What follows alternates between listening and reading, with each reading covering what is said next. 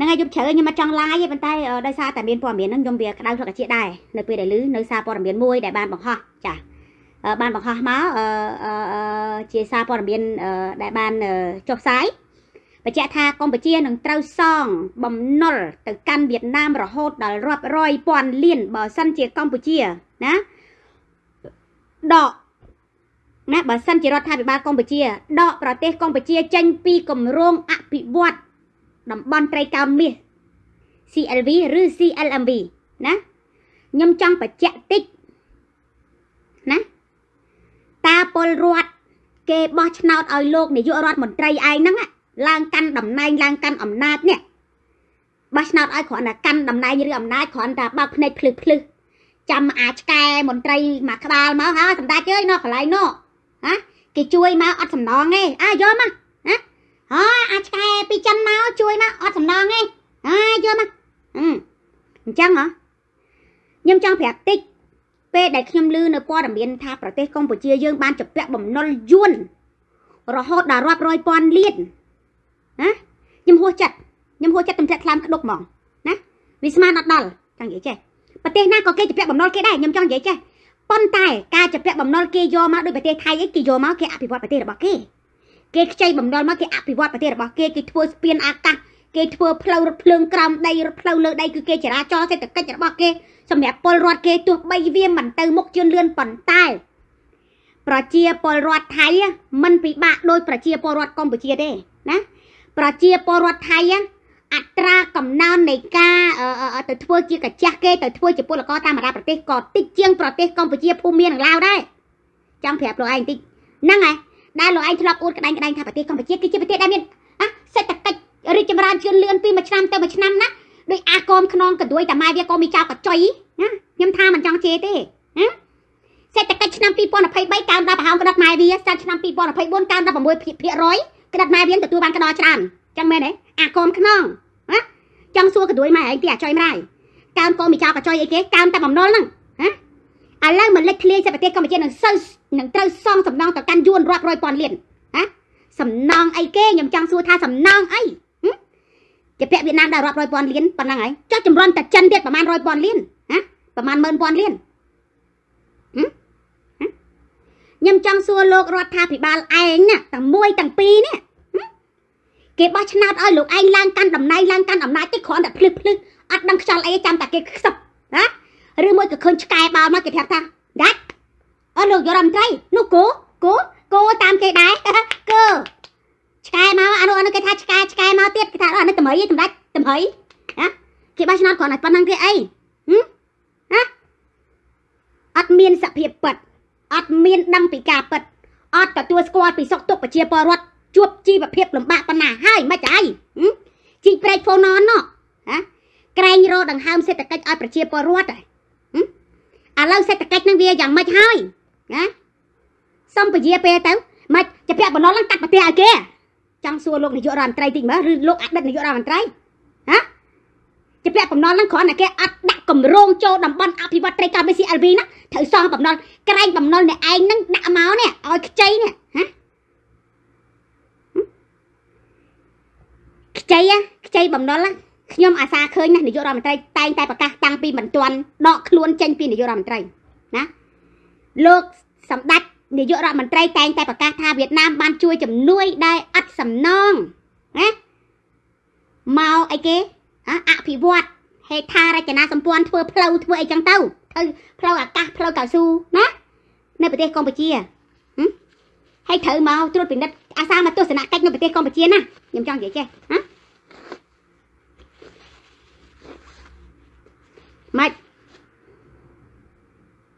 ផ្លូវនៅប្រទេសកម្ពុជាហ្នឹងជិះតែប្រជាពលរដ្ឋអញទេណា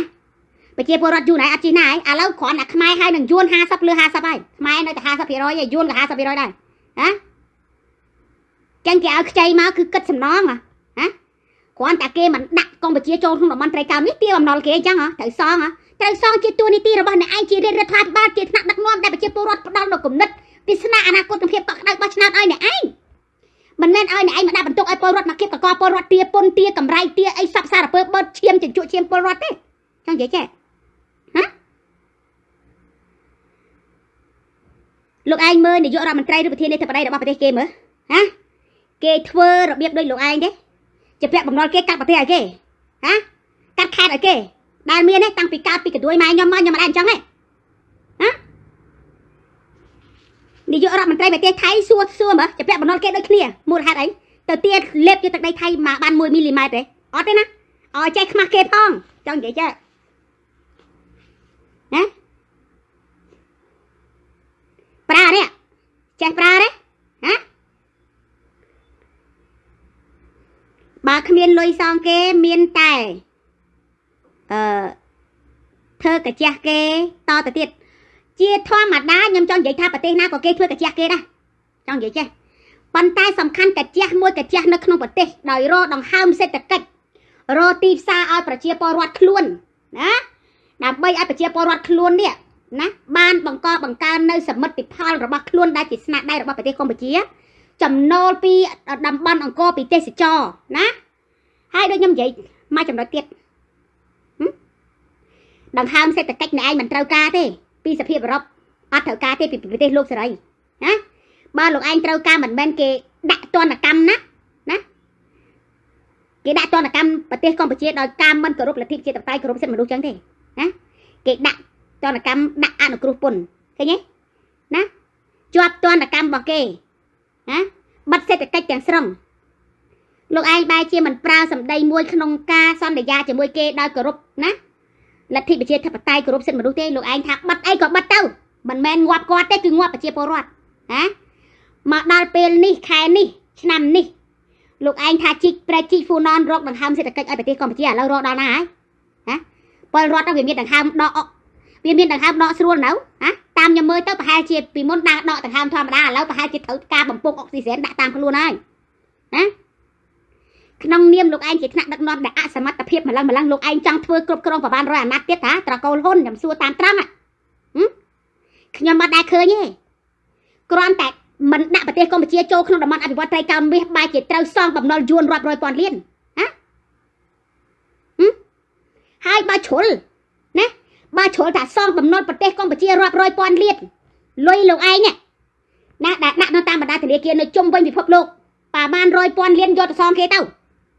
ព្រោះលុយហ្នឹងក៏មិនមែនលុយកម្លាំងយកឈាមឬក៏កម្រៃត្រកូលលោកឯងដែលបានយកមកដែរណាប្រាក់ខែពួកលោកឯងជានាយករដ្ឋមន្ត្រីមួយខែ5000តា5000តាគ្រាន់តែចំណាយទិញតែនាឡិកាមួយគ្រឿងទិញគ្រប់ផងនាឡិកាមួយរាប់ពាន់លាននាឡិកាលោកឯងពីដល់10គ្រឿងណាហ៎ប្រាក់ខែលោកឯងធ្វើដល់មួយជីវិតទៀតក៏មិនបានផងទិញដល់ពី10គ្រឿងហ្នឹងហើយចាក់អាលុយដាក់ដាក់តាមធនាគារទៀតនោះហ៎លុយមកពីណាលុយមកពីណាហឹមមិនយកទៅសងគេទៅ បើលោកឯងមានចិត្តមានខ្លាំអត់មានត្រូវការយកប្រទេសហ្នឹងទៅដាក់ឲ្យគេទេព្រោះប្រទេសហ្នឹងមិនមែនជាប្រទេសរបស់ត្រកូលហ៊ុនឯងណាស្ដាប់ឲ្យតន់ណាហើយមួយទៀតកម្ពុជាបើសិនជាត្រូវសងបំណុលយួនម្ដងបន្តិចប្រជាពលរដ្ឋយួនក្នុងនាមខ្ញុំជាប្រជាពលរដ្ឋអត់ឲ្យយួនរស់នៅប្រទេសកម្ពុជាសំបីតែមួយក្បាលបញ្ជូនទៅវិញឲ្យអស់ណាពីព្រោះអី ការវិនិយោគទុនរបស់យួនដែលផ្ដល់ប្រាក់កម្ចីមកកាន់ប្រទេសកម្ពុជាយកមកធ្វើផ្លូវអ្វីផ្សេងផ្សេង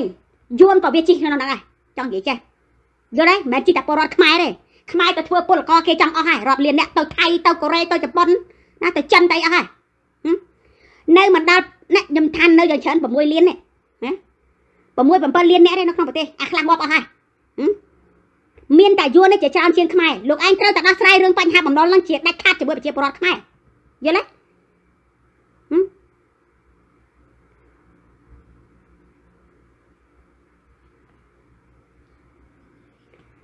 ប្រើភាសាបោករះរហូតមែនទេបងចង់និយាយចេះណាខ្ញុំមិនដែលឃើញសម្ដីនាយករដ្ឋមន្ត្រីណាមកនិយាយសម្ដីបាត់ព្រៃបែបហ្នឹងទេណានិយាយសម្ដីព្រៃបែបហ្នឹងទៅដៀលពលករនៅកូរ៉េនៅជប៉ុនណា ឬបងប្អូនដែលរស់នៅតាមបណ្ដាប្រទេសផ្សេងៗដែលចូលរួមធ្វើបាតកម្មបែរជាដៀលគេសិតជ្រុលក្រុមជ្រុលនិយមមិនបានហៅថាជ្រុលនិយមមានឆ្លោះកញ្ចក់មើលមុខខ្លួនឯងដែរទេថាខ្លួនឯងរងថ្ងៃហ្នឹងជ្រុលនិយមដែរឬទេណាខ្លួនឯងជ្រុលឲ្យផ្កាប់ទៀតណោះចេះខ្មាស់ពលរដ្ឋទេស្បែកមុខក្រាស់ខ្មឹកអីទេឯងណាចេះខ្មាស់ពលរដ្ឋអត់ណាបើអត់ចេះខ្មាស់ពលរដ្ឋទេណាដាក់ទឹកមកកធុនណាកធុនមាសណារបស់លោកឯងនេះយកមកដាក់ឆ្លោះមើលទៅ ថាស្បែកមុខលោកឯងខ្ញុំក្រាស់ប៉ុណ្ណាណាខ្ញុំលឺអញ្ចឹងខ្ញុំឆេះហើយខ្ញុំប្រាប់ឲ្យច្បាស់ណាប្រទេសកម្ពុជាប្រឈមមុខនឹងសងបំណុលយួនរាប់រយពាន់លានគិតមើលមើលហើយយើងជាថ្នាក់ដឹកនាំណាណាអួតក្តែងក្តែងប្រទេសកម្ពុជាមានលទ្ធិប្រជាធិបតេយ្យសេរីពហុបកទី1បោកណាគ្រាន់តែចំណុចមួយប៉ុណ្ណឹងអ្នកឯងធ្វើនយោបាយប្រជាពិធដ្ឋបាត់ហើយណាចំណុចមួយទៀត ជីកព្រែកហ្វូណនក្នុងការរកដង្ហើមសេដ្ឋកិច្ចឥឡូវតាំងពីមុនរកដង្ហើមសេដ្ឋកិច្ចពលរដ្ឋគ្រាន់រកកម្រៃបានខ្លះឥឡូវពលរដ្ឋដាក់ស្វេអុកស៊ីហ្សែនណាដង្ហើមនៅកន្លែងណាខ្ញុំសួរលោកឯងមើលដង្ហើមនៅកន្លែងណាហឹមការជួយជំនួយដែលអត់សំណងឬមានសំណងប្រទេសកម្ពុជាខ្ញុំគិតថាអត់មានទៅជាពាក់បំណុលយួននៅណាដល់រាប់រយពាន់លានទេណាបើជាពាក់ដល់កម្រិតហ្នឹងមែនតើយកមកធ្វើអី ខ្ចីគេ100លានឬ100ពាន់លានក៏អ្នកឯងត្រូវប្រកាសប្រទេសក៏ប្រកាសប្រាប់ប្រជាពលរដ្ឋដែរមិនមែនអ្នកឯងស្ងាត់ដូចឆ្លឹងចូលប្រហោងក្រិតប្រហោងក្តោចឹងទេស្រាប់តែលេចចេញជាពាក់រាប់រយពាន់លានប្រហែលពាន់លានលោកយករដ្ឋមន្ត្រីណាលោកអតីតនាយករដ្ឋមន្ត្រីមើលមានប្រសាសន៍ប្រជាពលរដ្ឋដឹងហើយមើលណាខ្ចីតាំងពីឆ្នាំណាមកណាវាលេចចេញណាវាលេចចេញណាហ៎តំបន់ត្រីកោណមាសណាការចុះណាហត្ថលេខាកិច្ចព្រមព្រៀងណាជាមួយប្រទេសយួន ដាក់ប្រទេសកម្ពុជាក្នុងក្នុងតំបន់អភិវឌ្ឍត្រីកោណមាសតាំងពីឆ្នាំ1900អឺអឺ99ណា99ហើយ95បងប្អូនខ្ញុំភ្លេចហើយណារហូតមកទល់ពេលនេះវា25ឆ្នាំហើយវា25ឆ្នាំ95 95ឬ99បងប្អូន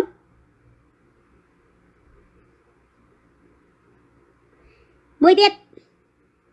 ឡូវមកលេចចេញ CLMV មិនមែន CLV ទេឥឡូវណាឥឡូវ CLMV ចាណាហ្នឹងហើយ1999អរគុណចាផ្លេចអា9995ណាវាច្រឡំគ្នាជាមួយនឹងអាភូមិហ្នឹងហើយមកលេចចេញកម្រង CLMV ជាមួយភូមិមាន1995ទៀតវាហួសចិត្តទេណាចុះអាម៉េចពលរដ្ឋខ្ញុំនឹងក៏ភ្លើម្លេះ ណាអត់ដឹងខ្យល់អីតិចហ្មងហើយឬមួយក៏យ៉ាងម៉េចណាចុះតាំងពីថ្ងៃណាខែណា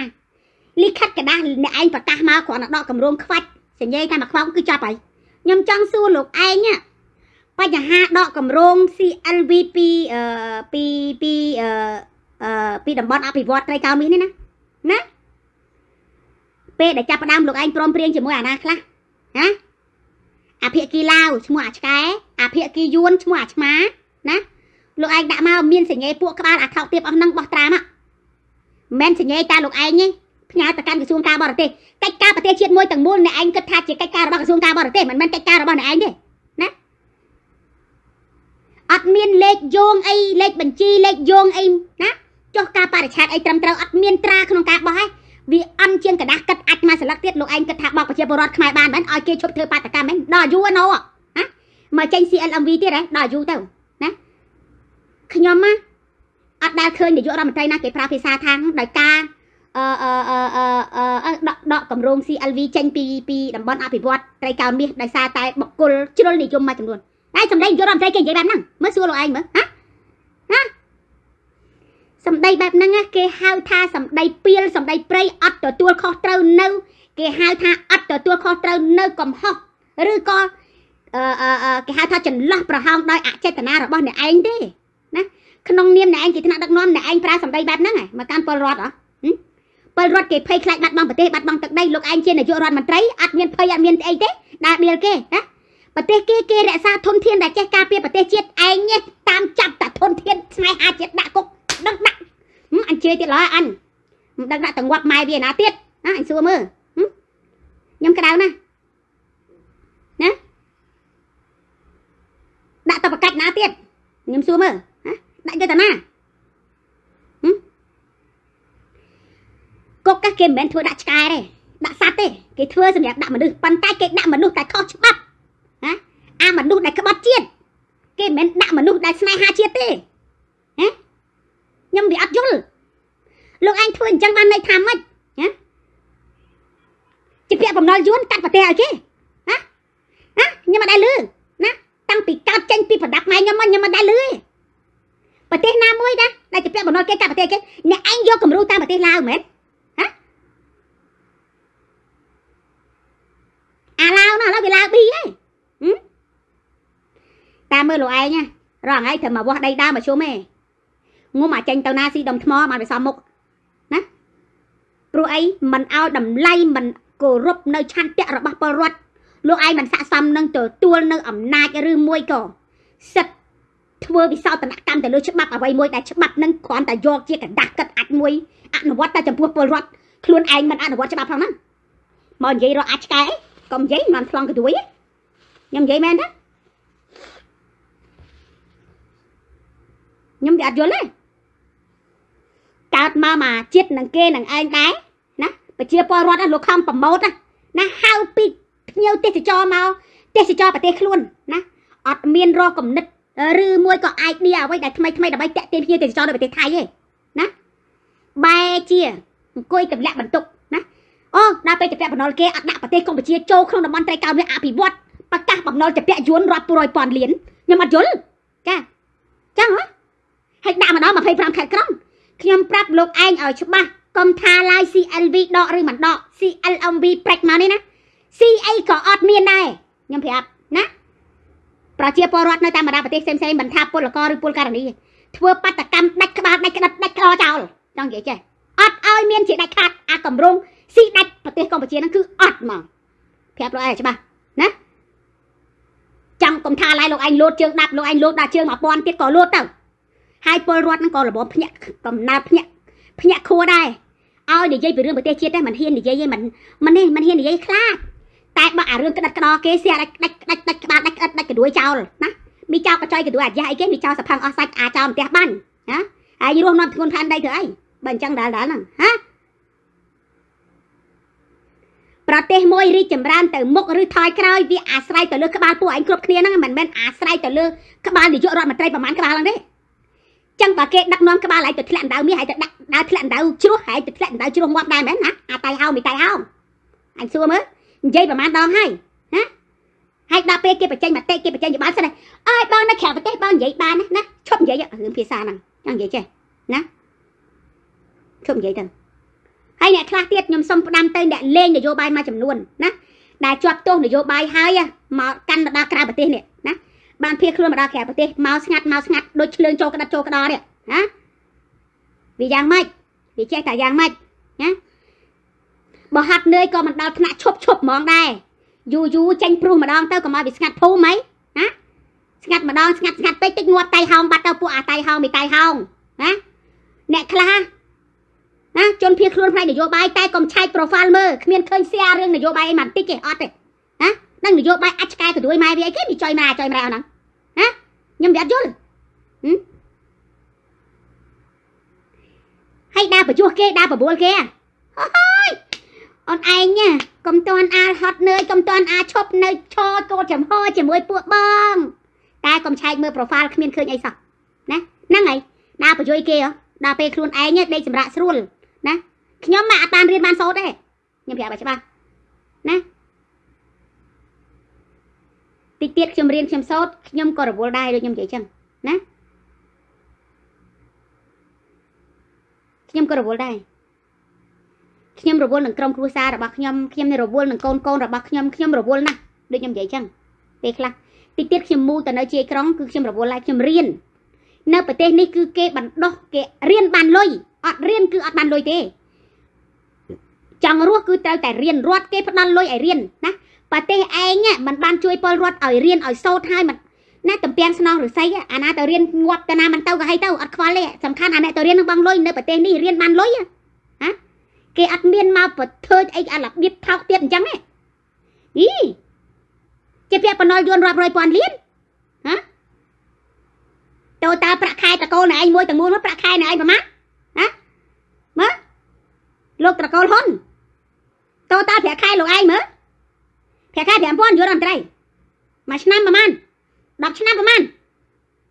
ការចំណាយណែឯងប្រមាណណែឯងត្រូវធ្វើឲ្យបានច្បាស់លាស់ណា ក្នុងនាមជាអ្នកណាគេហៅថាជាថ្នាក់ដឹកនាំគេកម្ពុជាណាត្រូវអនុវត្តច្បាប់ជួមុខគេមុននឹងទៅចម្រិតកពលរដ្ឋឲ្យពលរដ្ឋលោកគោរពនិងខ្លាចច្បាប់ណាមិនមែនមកធ្វើបែបហ្នឹងទេមិនមែនមកធ្វើលំលំទេច្បាប់អនុវត្តតែចំពោះអ្នកស្នេហាជាតិអញ្ចឹងអានេះគេហៅប្រទេសគេណាប្រទេសកុម្មុយនីសប្រទេសកុម្មុយនីសផ្ដាច់ការអញ្ចឹងនៅពេលដែលគេហៅយើងថាអាផ្ដាច់ការឬមួយក៏អាយ៉ងយួនយើងកំបន្ទោគេយើងកំពុងតែស្ថិតនៅក្រោមកលាអុកណា ក្រោមអាយ៉ងរបស់គេហើយយើងកំពុងតែដាក់ក្បាលអោនធ្វើជាអាយ៉ងជាកាចាស់គេបំរើគេណាមានមនសិការដែររងហើយសួរមើលណាអត់ចេះខ្មាស់គេតិចមកហើយខ្ញុំខ្មាស់គេ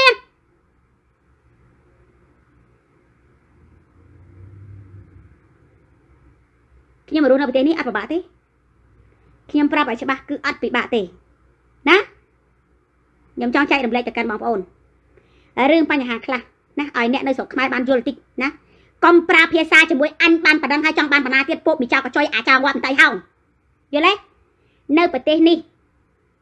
សំបីតាកូនអត់ទៅសាលារៀនណារដ្ឋាភិបាលគេគេយកចិត្តទុកដាក់ណាគ្រូបង្រៀនគេគេយកចិត្តទុកដាក់ណាគេតាមដានក្មេងសັບសារពើទាំងអស់ចុះមកផ្ទះហៅឪពុកម្ដាយអាណាព្យាបាលទៅសាលារៀនណាសិស្សសាលាគឺមានសិទ្ធិស្លៀកពាក់ឯកសន្តានអ្វីក៏បាន ជាសេរីភាពរបស់សិស្សគេអត់ដាក់សម្ពាធទៅកាន់ពលរដ្ឋទេសិស្សទេណាគេមានលុយឧបត្ថម្ភសិស្សដែលក្រោមអាយុ18ឆ្នាំលើអាយុ18ឆ្នាំនៅពេលដែលអ្នកឯងរៀនចប់វិទ្យាល័យបន្តទៅមហាវិទ្យាល័យណាបាត់លុយសិស្សនិស្សិតដែលក្រីក្រអាចធ្វើពាក្យស្នើទៅកាន់រដ្ឋាភិបាលដើម្បីសុំលុយរៀនបន្តទៀតនៅពេលដែលយើងរៀនចប់មហាវិទ្យាល័យឬសាកលវិទ្យាល័យអ្នកឯងមានសិទ្ធនៅពេលដែលឯងទៅធ្វើការរដ្ឋគេកាត់លុយពីយើងឧទាហរណ៍ថាយើងជាពាក់គេណា 100,000ដុល្លារណាក្នុងរយៈពេលរៀនមហាវិទ្យាល័យនិងសាកលវិទ្យាល័យគេកាត់ម្ដងតិចម្ដងតិចយល់ទេ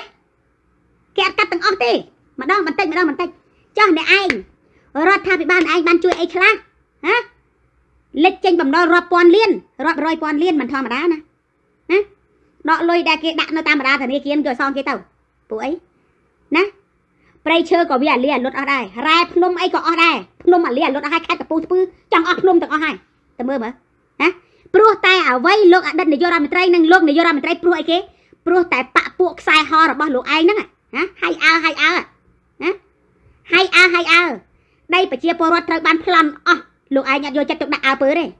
អ្វីដែលលោកឯងអើពើគឺរឿងដែលអត់ប្រយោជន៍ខ្ញុំអន់ចិត្តត្រង់ចំណុចមួយហ្នឹងរឿងដែលគួរអើពើបែរជាមិនអើពើទេរឿងដែលគួរធ្វើដើម្បីតាក់ទាញប្រជាប្រិយភាពខ្លួនឯងបែរជាមិនធ្វើទេណា ទៅធ្វើឲ្យតង្វើឡាយឡាប់ឡាយឡាប់ដូចមនុស្សឈួតចឹងណាមកនិយាយអីជាមួយខ្ញុំខ្ញុំនិយាយចេះណានិយាយអីជាមួយពលរដ្ឋបើយើងធ្វើជាមនុស្សដែលគេហៅថាដូចអារបៀបបើនិយាយថាអត់គ្រប់មកវាអត់ត្រូវទេនេះគឺគ្រប់នៅអួតខ្លួនឯងថាបានជាជាមនុស្សឆ្លាតទៀតណាប៉ុន្តែឆ្លាតក្នុងចំណោមមនុស្សល្ងងណាតែឆ្លាតនៅក្នុងចំណោមមនុស្សឆ្លាតតើរួចទេចង់និយាយចេះគ្រាន់តែជាឈ្នន់តែគេទុកថាជាទីងងមួយសម្រាប់ប្រើតែប៉ុណ្ណោះសម្រាប់ញាក់ទេរងថ្ងៃណាបើតាមខ្ញុំមើលទៅ ណារៀនគិតសាជាថ្មីរឿងបញ្ហាកម្រង CLV ឬ CLV មិនអាចកើតមានជាដាច់ខាតបើលោកឯងនៅតែហ៊ានលោកឯងនឹងចប់ហើយចង់និយាយចេះសាកជាមួយពួកអាជ្រុលនិយមនឹងលមើលចាំមើលមើលណាចាំមើលពួកអាជ្រុលនិយមនឹងលេងលោកឯងបាសជើងចងាងអត់ណាចាអឺ Johnson ចៅចាស់សួស្ដីលោកពូណា ចង់សាកជាមួយពួកអាជ្រុលនិយមហ្នឹងពួកអាជ្រុលនិយមហ្នឹងធ្វើឲ្យមើលហ្មងណាលោកឯងខ្លាំងណាគៀបសង្កត់បានតែពលរដ្ឋខ្មែរនៅក្នុងស្រុកណាយល់ទេខ្មែរនៅក្រៅស្រុកអត់មានចោះចាញ់លោកឯងទេលោកឯងចាំទុកមិនលោកឯងមកក្តក់ថាជាពាក់បំណុលគេរាប់ពាន់លាននិយាយតែមាត់បានទេណារឿងបញ្ហាបំណុលហ្នឹងមិនមែនជាបញ្ហារបស់ពលរដ្ឋគឺជាបញ្ហារបស់រដ្ឋាភិបាលនិងរដ្ឋាភិបាលដូចគ្នា លោកឯងដោះស្រាយទៅមិនបានមកផ្ដាល់សម្ពាធឲ្យពលរដ្ឋទេលោកឯងមានទួនាទីរកដង្ហើមសេដ្ឋកិច្ចឲ្យពលរដ្ឋពេលនេះពលរដ្ឋដើរស្ពីអុកស៊ីហ្សែនណាលោកឯងគិតយ៉ាងម៉េចណាលោកឯងទៅពើងទ្រូងដាក់អាមេរិកនៅពេលដែលគេដាក់ទណ្ឌកម្មណាដកពន្ធអនុគ្រោះលោកឯងគិតយ៉ាងម៉េចណាគេដកពីមួយមួយអាណត្តិទៅមួយអាណត្តិគេដករហូតលោកឯងអត់ចេះខ្មាស់គេផងហ្នឹងសៀងសិថាសួស្ដីបងអូនស្រីចាសួស្ដីបងចាសុវណ្ណឃីម very good ស៊ី ខ្ញុំវាឆេះដែរបងឆេះមកដក CLV អា CLV ដកដកបោកទៀតណាដាក់ CLMV ចេញ CLMV ណាហើយគិតថាភូមិសំទោសខ្ញុំចង់ប្រាប់ទៅប្រជាពលរដ្ឋកម្ពុជាដែលរស់នៅក្នុងប្រទេសបន្តិចប្រជាពលរដ្ឋមីយ៉ាន់ម៉ាភូមិណាគេហៅថាភូមិនេះណាមានគាត់តូចតូចអត់អត់មែនប៉ុន្តែឈាមគេរាវណាស់ចិត្តគេគឺមោះមុតណាស់គេហ៊ានណាស់កុំចង់មានមហិច្ឆតាតលេតបាក់ប្រទេសគេស្អុយក្ដួយស្អុយក្ដរត្រឡប់មកវិញធ្វើមុខកម៉េះម៉េះឡើយ ចង់និយាយចេះណាក៏ស្លុយណាស់ដែរពួកគេអត់មានខ្លាចងាត់ដូចពលរដ្ឋខ្មែរមួយចំនួននៅក្នុងស្រុកដើរបញ្យុយគេយ៉ាងទេប្រាប់ឲ្យច្បាស់ណាភូមិមាចិត្តលុះណាស់ប្រាប់អ្នកឯងណាកំហក់ខែងលោអើមកគេមិនស្គាល់ពីពុតត្បុតមាយាទថោករបស់អ្នកឯងយ៉ាងម៉េចមិនដឹងទេចារែមឈុនត្រឹមត្រូវបងស្រីចាសុស្ដីបើគេដឹងលោកឯងក៏ក៏ដាច់ផ្ងាដែរចង់និយាយចេះចាំទុកផងថ្ងៃនេះខ្ញុំឡាយជ្រុលមកដោយសារខ្ញុំជាប់ទៅផ្សារថ្ងៃហ្នឹងទៅទិញសបុតឡានក្រុងទៅអីផងវា យើងមកវិញយល់ឃើញព័ត៌មានតាំងថ្ងៃខ្ញុំគុំតា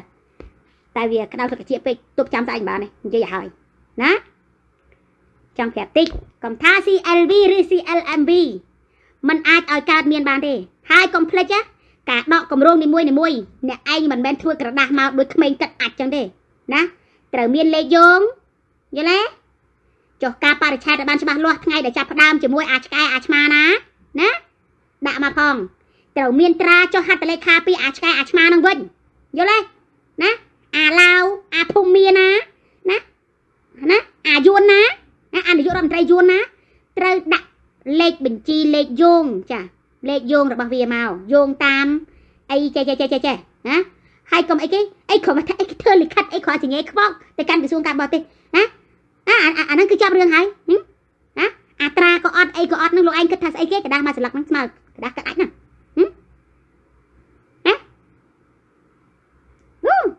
ហើយគេ នៅមានមន្ត្រីអីណាខ្លះអូយអឺចង់ចូលពួកអាឆ្កែពួកព្រុសព្រុសព្រុសព្រុសព្រុសព្រុសណាអាឆ្កែមានឆ្កែមួយចំនួនសិតពួកមានសភឹងអស់សាច់ណាអាចោលលួចកបីអាចោលលួចគោអីប៉ុណ្ណឹងចោលលួចក្តាច់ប្រពន្ធគេអីអស់ចេញព្រុសដាក់ដាក់កម្រង CLV គ្រប់ត្រណាជីកព្រែកពូណនក៏គ្រប់ត្រណាដល់ពេលដក CLV ដាក់ CLV គ្រប់ត្រទៀតណាក្រៅពីព្រុសហៃអើចេះធ្វើអីបានទៀតទេអាឆ្កែមានឆ្កែចោលមកទៀតណា អញអញ្ចឹងឯងណាអញអញ្ចឹងឯងអញចង់ប្រាប់ចឹងណាគាត់ប្រាប់ច្បាស់មុននឹងគ្រប់ត្រដែលឯងក៏មើលដែរចង់និយាយចឹងអ្នកឯងច្បាស់នៅហ៎អ្នកឯងច្បាស់អត់អ្នកឯងឆ្លាតអត់ឬមួយអ្នកឯងគ្រាន់តែជាឈ្នន់ជាអាយ៉ងដែលគេញាក់ឲ្យធ្វើជាឆ្កែឬកូនអុកគេទេហីក៏មិនចង់បោកប្រាស់សំខាន់បានទេក្រាច្បាស់ចង់ប្រាប់ចឹងណាមើលឲ្យជាក់ចាំញាក់ចាំចង់និយាយចេះណា មើលឲ្យជាក់ចាំញាក់ចាំព្រោះអីឆ្លងកាត់មកហើយបើនិយាយពីដែកវិញឆ្លងកាត់ភ្លើងដែលលុតមករាប់រយពាន់អង្សាហើយចង់និយាយចេះណាបបពិសោធន៍ពេញខ្លួនសំសខាមិនមែនជាមនុស្សបោះបាក់មិនមែនជាសមាជិកប៉ែប្រាប់ម្ដងទៀតណាណាសំសុខាគឺជាមនុស្សរបស់ពលរដ្ឋណាគឺជាមនុស្សរបស់ពលរដ្ឋរបស់ប្រជាជនកម្ពុជាយល់ទេទោះបីជាខ្ញុំទៅដល់ប្រទេសណាខ្ញុំងាប់នៅប្រទេសណាក៏ដោយក៏ខ្ញុំនៅតែជាខ្មែរ ខ្ញុំជាពលរដ្ឋខ្មែរណាខ្ញុំអត់ក្បត់ឧត្តមកតេនិងប្រជាពលរដ្ឋខ្ញុំដាច់ខាតដូចខ្ញុំនិយាយចឹងយល់ទេណាកុំឲ្យប្រវត្តិសាស្ត្រគេនិយាយមកថាអូជាថ្នាក់ដឹកនាំដែលក្បត់ជាតិជាថ្នាក់ដឹកនាំដែលចោលមកសៀតជាថ្នាក់ដឹកនាំអាយ៉ងយួនទទួលយកបានដែរពាក្យទាំងអស់ហ្នឹងបើសិនជាខ្ញុំវិញណាខ្ញុំជាប្រជាពលរដ្ឋណាខ្ញុំទទួលយកបានទេណាខ្ញុំជាមួយទឹកក្នុងកធនងាប់បាច់ចាប៉ុន្តែខ្ញុំមិនដឹងថាគាត់ធ្វើពីអីណា ពេលវេលាខ្លះគួរតែចំណាយពេលពីព្រោះអីណាដូចជាបងអូនស្រីម្នាក់ណាបងអូនស្រីសិលាដែលធ្វើការ live នៅក្នុង page Icre TV គាត់គឺជាជនរងគ្រោះណាដែលត្រូវមន្ត្រីជាន់ក្រោមរបស់អ្នកឯងប្លន់ដីគាត់គ្មានដំណោះស្រាយមកទល់ឥឡូវហ្នឹងណាមកទល់ឥឡូវហ្នឹងណាធ្វើឲ្យគាត់រត់ប្រផាប់ប្រភីមកកាន់ប្រទេសថៃតិចដៀលគេថាបកគលជ្រុលនិយមទៀតអត់ត្រូវទេណាខ្លួនឯងអត់ស្ទប់មន្ត្រីដែលហៃអើខ្លួនឯង ណាបែរជាទម្លាក់ពលរដ្ឋចោលដល់ពេលពលរដ្ឋឈឺចាប់គេជេរទៅកាន់អ្នកឯងអ្នកឯងត្រូវតែទទួលយកអ្នកឯងអត់មានសិទ្ធមកខឹងឬមកសាបព្រោះមកកាន់គេវិញទេណាមកពីអ្នកឯងជាថ្នាក់ដឹកនាំគ្រប់គ្រងរដ្ឋបានល្អចង់និយាយចេះអ្នកឯងធ្លាក់ឆ្នោតក៏ដោយសារពួកហ្នឹង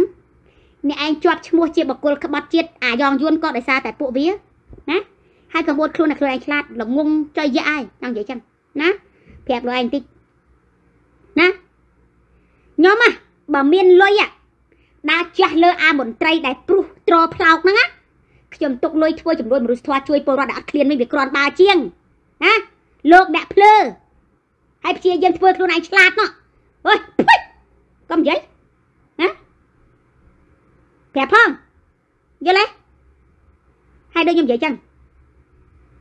ជាចុងក្រោយ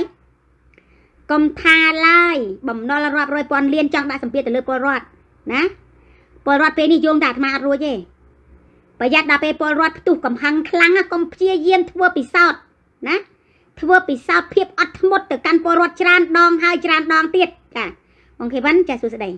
ណាកុំអីពលរដ្ឋម្ដងនេះកំពុងតែដកសកាមន់យល់ទេកំពុងតែត្រដោខ្យល់ពាក់អុកស៊ីសែនតាមខ្លួនណាពួកអីដង្ហើមសេដ្ឋកិច្ចជីកព្រៃហ្វូណនហ្នឹងវាដើរដល់កំពូលមេឃចឹងដល់ឋានប្រអិនយល់ទេដើរដល់កំពូលមេឃហើយ មកចាយអាគាំទ្រហ្វូណនមីគាំទ្រហ្វូណនមកចាយតិចហ្វូណនចាក់ក្តាប់ចាក់ចាក់ក្តាប់ចិនឈៀបអស់ណាកូនម្ចាស់កញ្ចៃហឹមមកយាយជេចឹងខ្វល់ទេណាដៅលោកជាឆេះមែនណាខ្ញុំឆេះហ្មងណាខំថ្លៃអំណរគុណឬសូដកកម្រង CLV លោកហើយលោកចេញ CLMV ហួសចិត្តហ្មងហ៎ហួសពីនឹងមកអីគេកម្ពុជានឹងប្រឈមមុខការសោកបំណុលទៅកាន់វៀតណាមរាប់រយពាន់លាន ដោយសារតែដកកម្រង CLV ហឹមអីណាឆេះហ្មងចាអូខេថ្ងៃនេះសូមឲ្យបងប្អូនពុកម៉ែមេត្តាចូលរួម share ហើយកុំភ្លេច follow page អាច Create TV ដើម្បីទទួលបានព័ត៌មានក៏ដូចជាការផុសរាល់វីដេអូខ្លីៗវីដេអូ reel ចាដោយសារអីខ្ញុំចង់ជម្រាបទៅកាន់បងប្អូនដោយសារតែ page នេះខ្ញុំបង្កើតនិយាយតាមត្រង់បើសុំឲ្យបងប្អូនជួយជាលុយជាកាក់មកវាពិបាកណាស់ ចាវាពិបាកដូចអស់ស្អីជ្រះចង់ចឹងអញ្ចឹងត្រឹមតែ follow page ណាផ្ដល់នៅការ like ឬ follow page នឹងការមើលនិងជួយ share តែប៉ុណ្ណឹងខ្ញុំគិតថាវាអត់មានអីពិបាកទេ